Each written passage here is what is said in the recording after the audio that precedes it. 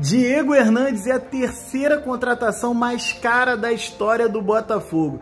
Sabia dessa? Segundo a apuração do site GE, a mais cara de todas foi Patrick de Paula, 6 milhões de euros, usando a cotação da época, 33 milhões de reais. A segunda é Vitor Sá, 13 milhões de reais. E agora nós temos o Diego Hernandes por 12,5.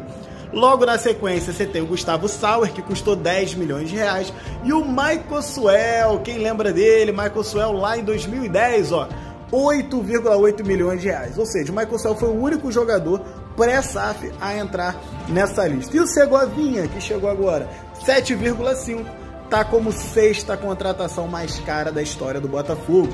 Segue e compartilha.